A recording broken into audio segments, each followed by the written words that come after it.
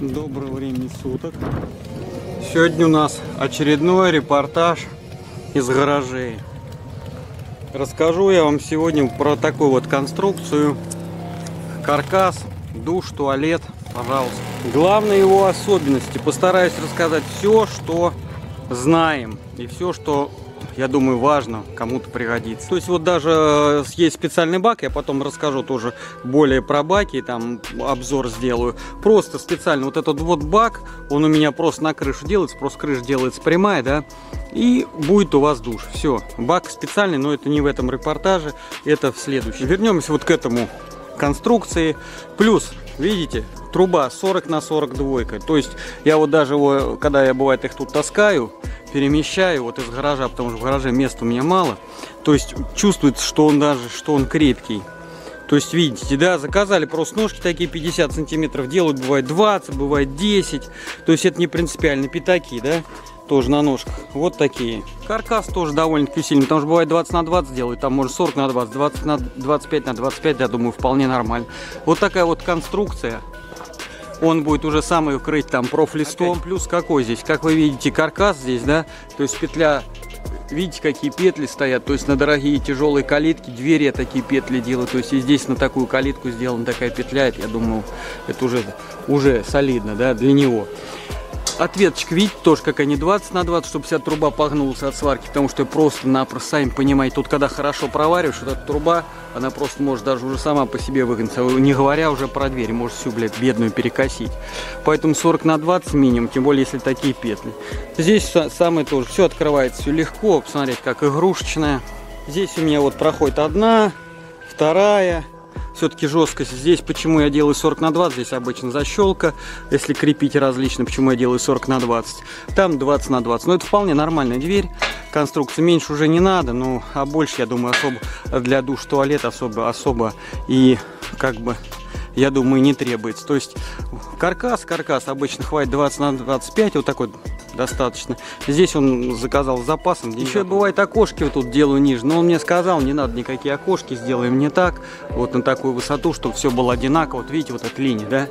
Я ему сделал одинаково, вот под, под этот вот проем. То есть это чисто его выдумка, потому что я бывает еще опускаю здесь, делал и окошки, это у меня много таких разных есть. То есть я и сзади, и спереди, и по бокам делал окна. Я считаю, для душа, конечно, лучше прямую делать крышу. Для туалета, честно вам скажу, ну какая хрен разница, будет она прямая крыша, ничего там страшного не случится. Но обшивать такую данную конструкцию, я вообще, э, идут споры каждый раз, да, кто считает ее обшивать надо поликарбонатом там, да. Я считаю, что поликарбонат говно, я не люблю. Профлистом жарко.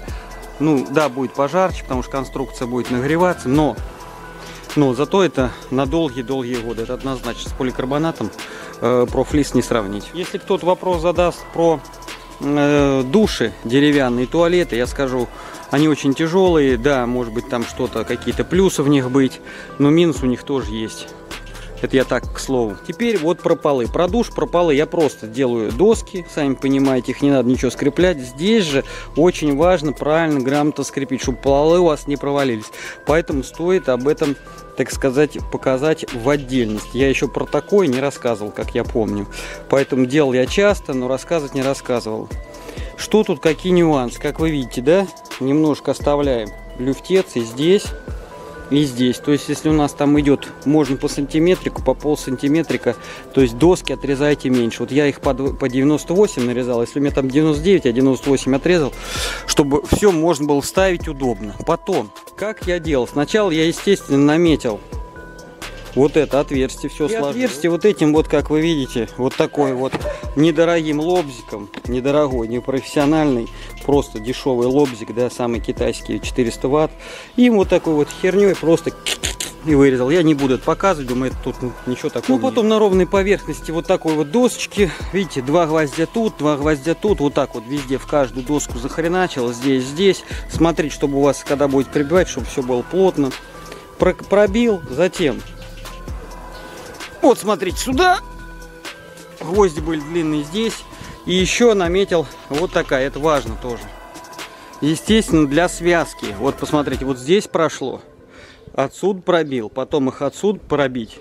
если вы хотите на долгие годы, сразу сделайте, то есть два гвоздя здесь, там два здесь, еще с той стороны можно пробить. Также эти можно дополнительно.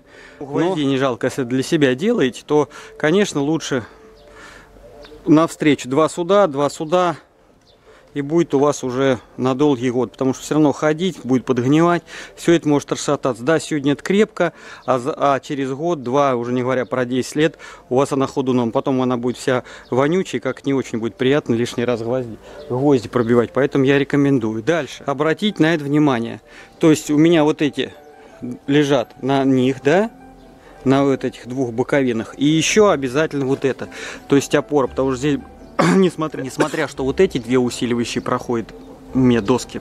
Еще обязательно вот это, потому что тут будет охрененная нагрузка, и ваш гвоздь, я думаю, все равно со временем, там, через годы их поведет. Поэтому уголок я посмотрите, как поставил, видите?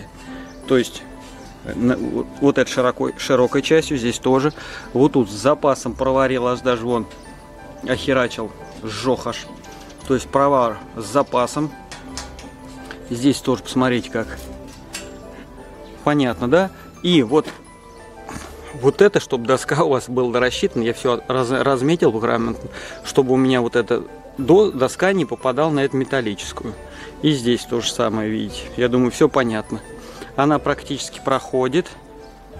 Сейчас мы ее положим и увидите, видите, как отсюда все размечено. Видите, она не задевает. И здесь они буквально аж вот вот они, уголки видно.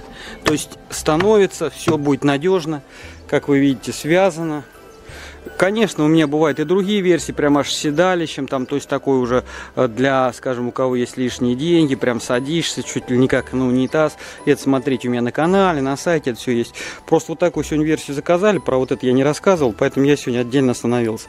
То есть это самый такой как бы недорогой вариант, хотя с ним тоже надо э, не только там на тяп-ляпал. Тут, как вы видите, вот я еще гвозди здесь насаживал и здесь пробивал. Потом, да, еще вот тут я можно связать вот эти вот вот так вот можно соединить. То есть вот эту с этим можно еще вот так пробить.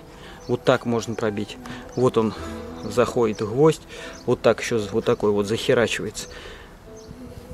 Поэтому, казалось бы, это херня херней, да, взял, положил, пропилил, но тоже, тоже надо сделать так, чтобы тебе потом не было стыдно за бесцельно прожитый. Здесь обычно все варят, и здесь, да.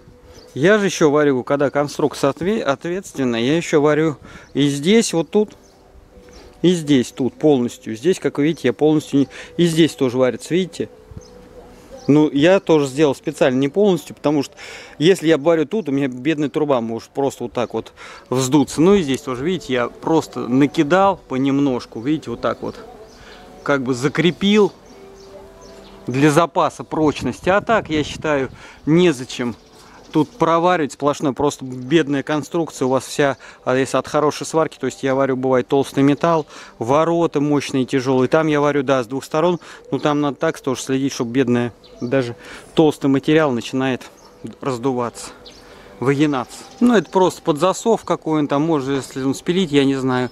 Здесь как делают? Здесь тоже можно засовчик я бывает делаю. Здесь бывает просто защелочка, тут отверстие сверлится и все. Потом душ туалет, я вот буду недавно э, делать, прям буквально за ним. Вот здесь постараюсь с полочками я сделал. Здесь еще полочки, как вы можно сделать, да? Бывает. То есть у меня тут прям седалища есть такие. Садишься, здесь можно полочки, там газеты, где даже положить, может быть, даже спрей для воздуха. Ну а так в целом на сегодня практически, я думаю, все. Если кого-то что-то интересует, вопрос задавать, подскажем, что знаем, кто хочет свое, кто что-то добавить, послушаем умные дельные советы. Ну а так, подписывайтесь, будет следить за новиночками, потому что, как вы видите, я тут вот делаю еще обзор вот этого, надеюсь. Это у меня как бы уже все купили практически, то просто не покрашено. Вот видите, я что делал. Скамейку, надеемся, вот такой вот стол, да, богатый. Богатый. Про него будем рассказывать поедет в город Москва у нас. Подпишитесь, будет следить за новиночками, ставим лайки. Будем вам большое вам за это спасибо. Ну а так, спасибо за просмотр. До новых встреч.